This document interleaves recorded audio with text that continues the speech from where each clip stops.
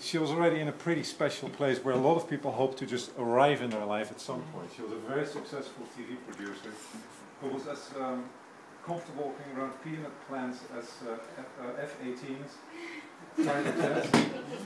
for her um, Modern Marvels. Modern Marvels series, which I thought was more than more than marbles. That's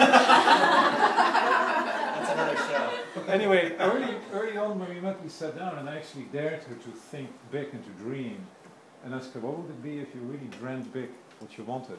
And I have to say, she's one of those very few special people that I've met in my life who had the courage to actually dream big and think about it, and at some point say, and you know what, I'm just going to do it and see what happens.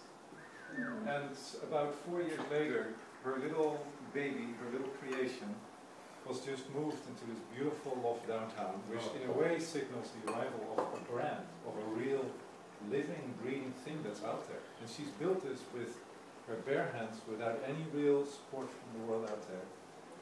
It's all, the only thing that's frustrating, and I think you all have had that experience with her, she just makes it so easy. it's so frustrating sometimes. I feel like she's almost the equivalent of a stem cell. You can plug her into anything.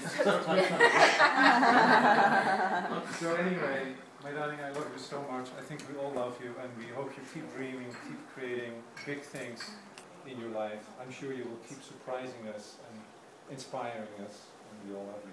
Have a great day.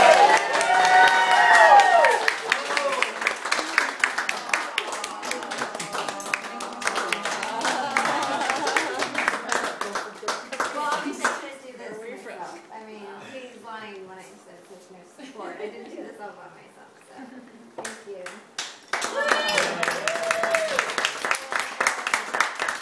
Okay, so I'm gonna cry.